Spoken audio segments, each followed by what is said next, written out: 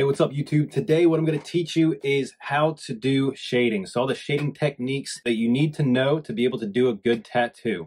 I'm going to show you how to do this on an actual live tattoo. I picked out a flower design, so let's get into it.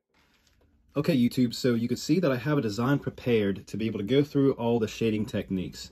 Now I chose a flower just because you could kind of use uh, every shading technique just in a single tattoo. Um, some design, designs you want to stick to, you know, either whip shading, pendulum shading, depending on the style. You know, if you're doing traditional, you want to stick with whip shading the whole way through because you kind of want those, you know, to be able to clearly see all the pepper shading in the tattoo. Awesome. So if you're interested in more videos like this, um, explaining what I'm doing, going into detail about how to do them, um, all you got to do is like and subscribe. And even if you want to comment down below, just so I know that this is helping you out um, and I know to make more videos like this in the future. Cool. So what we're going to get into today is going over the different techniques on how to shade a tattoo. There are quite a few. There are four different ones you could use. And like I said a minute ago, there's pepper shading, which to do that, you'll be putting the mag into the actual skin and just kind of whipping it out or fake skin depending on what you're using. So you know kind of getting used to this method right here. Now the other one would be the pendulum method. So what you would do in that is instead of just putting it in the skin and whipping forward you'll be kind of kind of like a brushing motion just you know slowly building up your tones with this type of motion right here. After that we're going to go into the cross hatching which, you know, it's not necessarily a method, but it is definitely a way to shade. So you will be going one way with your shading and then turning your mag and then going another way. What's that's going to do is kind of smooth out all the dots in the skin and build up more tone. Because going one way is going to make your dots just, you know, a singular place. So in traditionals, that's why you could see, you know, all the little dots. But going this way as well kind of saturates it a little bit more and just makes it a little bit more uh, clean and kind of transitions a little bit better. And then the last one we're going to get into would be the brush shading or light shading or feather shading depending on you know what you want to call it. But what we're going to do with this it's kind of like the same with pendulum shading but we're just barely going into the skin just lightly brushing in there. What you use this for is just a couple places to where you want a little bit more shading um, but you don't want it super powerful so just going into the skin and just lightly brushing it in there Awesome. So as you could clearly see with all of these different techniques, it's just a matter of how you're really moving with your hand. So the hand motion is a big deal. You know, some you're going to do this, some you're going to do this.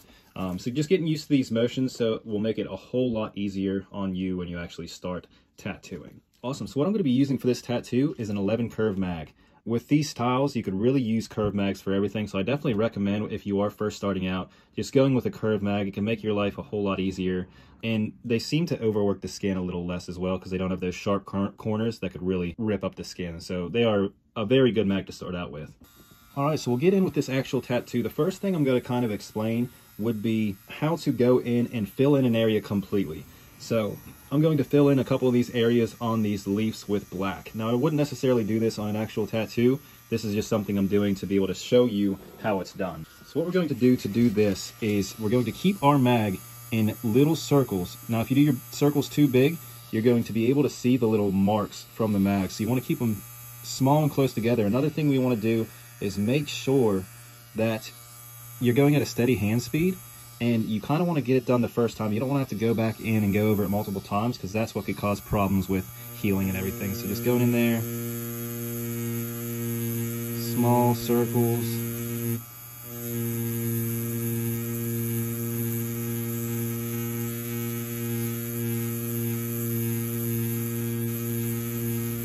Keeping a steady hand speed the whole time.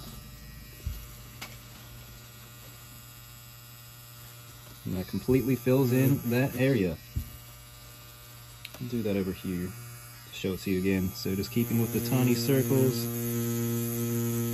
You'll be using this with like, um, you'll be using this method with like more of tribal, um, any big dark areas that you want to completely saturate. Another thing is, if you're doing this method, something to think about is not using lining black. Lining black's, black super thin, so try to get like, you know, a black that's made for actual coloring. Um, it'll be thicker and it'll make it a whole lot easier to, you know, pack in there and make it super powerful and dark. Awesome. So what we're going to do now is we're going to go from this black and whip shade it out. So what we're going to do is start here and then just slowly work our way out.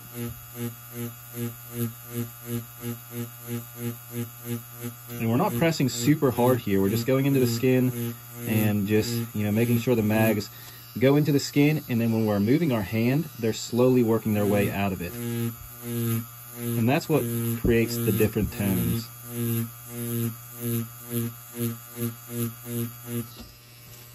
as you can see. So we went through from the straight black to showing transition, so it's not just a super dark area and then nothing. Um, this is was a really hard kind of thing for me to learn when I first started out. What I was doing was kind of like blocking in all my shading, and it wasn't really um, looking smooth. You know, I'd do like this area like we just did, and it would just be a solid color, and then I go in with my gray wash, and it'll just be a solid color. So getting used to doing these things will help you a ton when you are actually tattooing.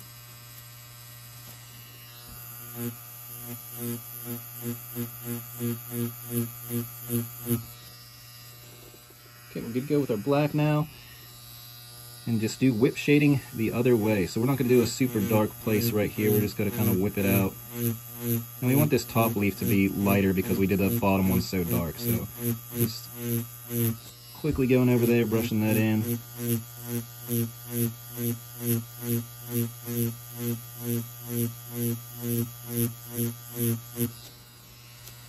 Let's check it out. Awesome, so that's exactly what we were looking for. Now we're going to go up to these top leaves real quick and get them out of the way.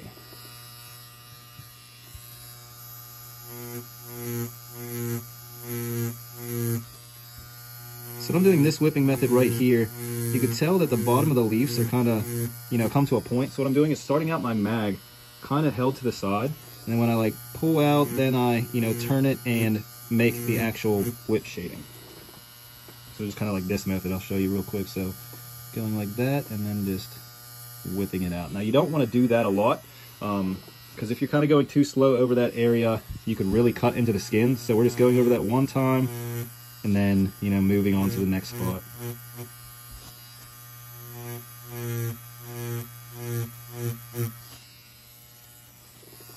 From here, what we're going to do is dip it in our six drops and we're going to go through and just kind of like block in some of the areas to where are going to be in the background and we want them a little bit darker. So just go through here, making our shading with our whipping method.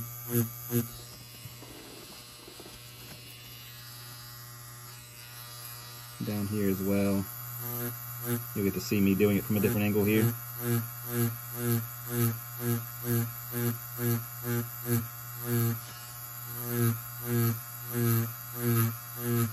So you can tell that the bigger the space is, kind of the more I'm whipping it out. If it's a big space I gotta get to, you know, I'm really, really being dramatic with that motion um, to get all the shading in there.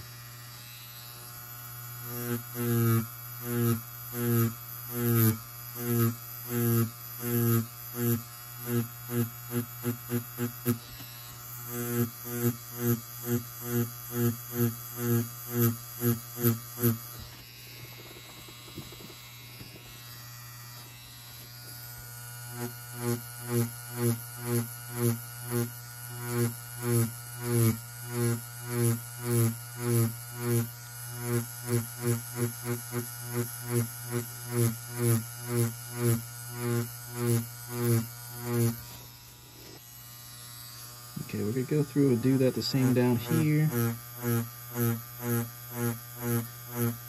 When we kind of feather this out, we're going to use the pendulum motion.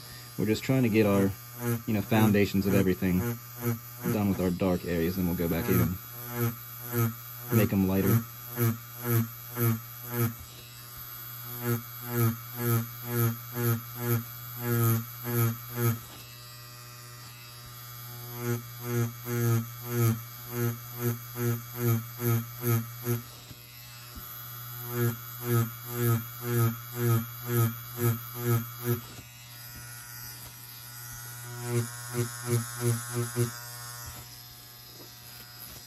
Awesome, we'll get this cleaned up so we can see what we're doing.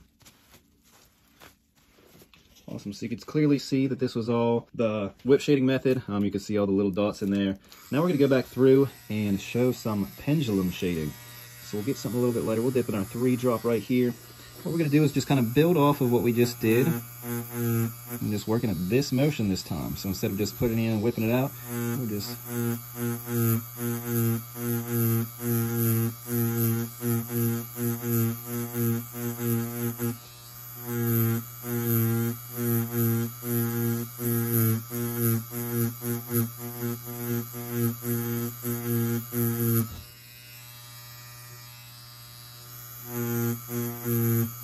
Just keeping at that pace.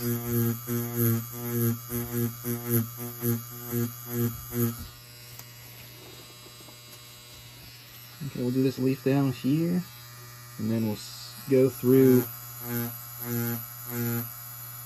the brush shading.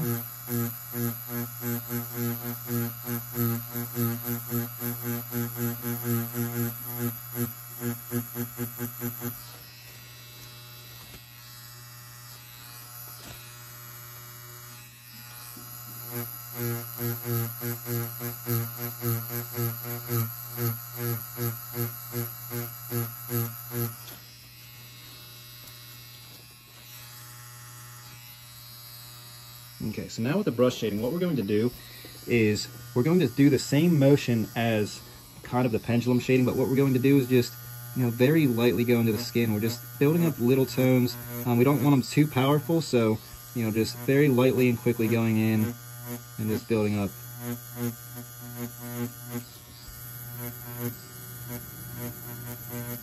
And this is the brush shading or feather shading. Um, this is how you do that.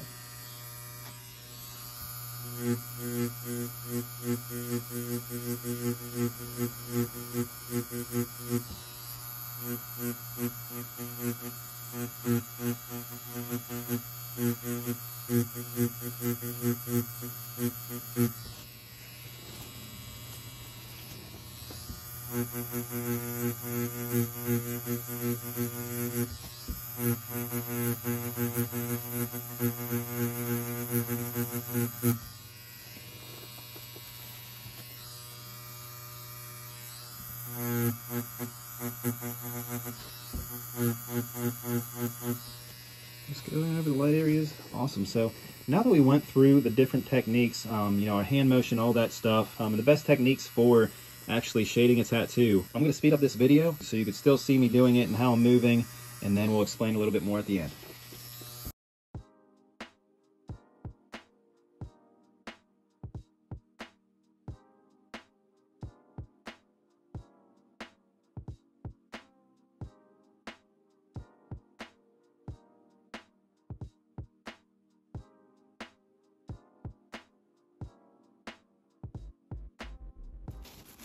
Okay, so there we have the design. Um, fully done. We went through our different shading techniques when you're tattooing. And if you are having problems, you know, shading tattoos, all of those things, I hope this was able to help you out. Just to recap, we went through our whip shading. Then we went through and worked on our pendulum shading. Also worked on our cross hatching. Went through and learned how to brush shade as well. And then the last thing we learned would have been how to pack in a solid area. So if you're having problems with you know, shading or getting your transitions and everything, these are the steps you will need to take to get better and be able to do these things. Awesome, last thing I wanna touch base on is what mags you're using for different things. So with this one, I used a standard mag. It was a curved mag, but I didn't use a bug pin or anything like that. If you're doing more realistic stuff or black and gray, so you want, you know, perfect transitions and the dots in the skin to be, you know, super smooth. You're going to want to get used to working with bug pins as well. And I'm sure I'll have more content um, going into the difference between the two in the future. So with this one, I hope this was able to help you out. And as always, if this helped you out in any way, just leave a like down below and follow for more videos.